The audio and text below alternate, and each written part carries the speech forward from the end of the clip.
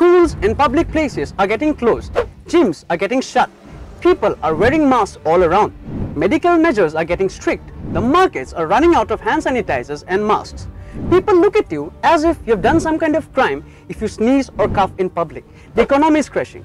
News headlines and everyone is shouting only about this one single thing. And what is that? The coronavirus. Now, is it happening in this world for the first time? How is it spreading? Is it spreading from China or from using Chinese products or from eating chicken?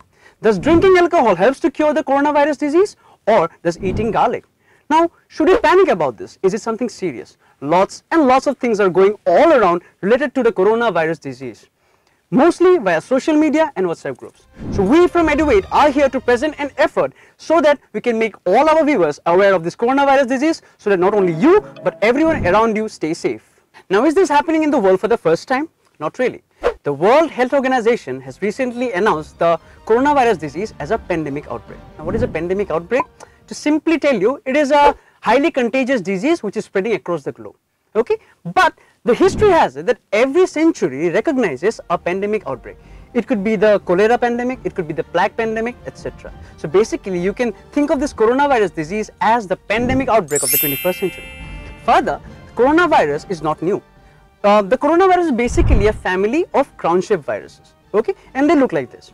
Now, when they infect mammals or human beings, then they attack the breathing tract or the respiratory tract, causing breathing issues. And hence, this virus has been given the name Severe Acute Respiratory Syndrome Coronavirus. And the present virus, which is creating all this havoc, that has been given the name SARS-CoV-2. Now, what does this 2 signify? This 2 signifies that this virus has attacked us before and this is the second attack of this virus and has the name. Now, the, the name of the virus is SARS-CoV-2 and when this virus infects us, then we suffer from a disease and that disease is called Coronavirus Disease 2019. Okay, in short, COVID-19. Now, what does this 19 signify? This virus, the present virus that was first identified in Wuhan, China in late 2019. So this year of its identification that has been incorporated into the name. So this is the basic information regarding coronavirus. Now, what is essential right here is that this virus or such a pandemic has attacked the human civilization before and we have survived it earlier. So is this something serious? Yes, because it's a disease after all. But is there something to panic? Well, no we can stay safe, our loved ones can stay safe from the attack of this virus if we are willing to take the proper measures. So what are the proper measures? Let's see that. Always cover your mouths while coughing or sneezing, especially when you are in public places. Further, avoid crowded places. This virus is highly contagious, so it could just spread from anybody. So avoid this. And this is the reason why governments are asking schools, gyms, cinema halls to shut down temporarily.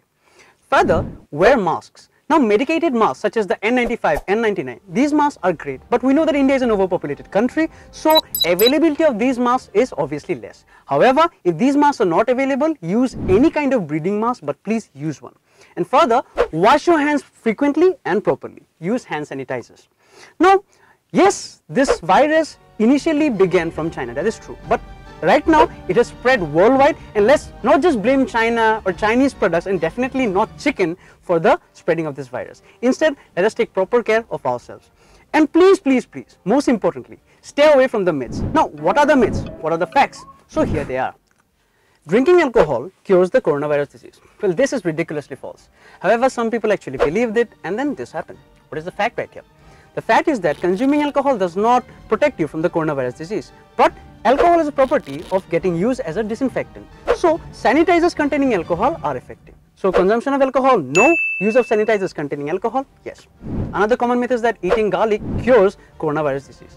The fact right here is that garlic is a healthy food and it should be consumed anyways. But does it cure the coronavirus disease? There's no scientific fact related to that. Another thing we are hearing is that the older people are more vulnerable, younger ones are safe. This is a total false. This is a pandemic, this is a viral attack. Each and every individual is vulnerable. The fact right here is that older people have a weaker immune system and this is a common sense that anybody having a weaker immune system is more prone to a viral attack or to a disease. Now reports suggest that this virus is attacking not only the older people but also younger people and also the people who are already suffering from some other kind of disease. So everybody is prone to the attack. Now another interesting myth we are hearing is that only the medicated masks are helpful or beneficial against the virus. Now this is also false. The reason is that India is an overpopulated country. It is practically impossible to provide each and every individual with a mask. Okay, and other than this, any other common mask, the easily available masks are also beneficial. What is important right here is that you must keep your mask safe. You must keep your mask clean.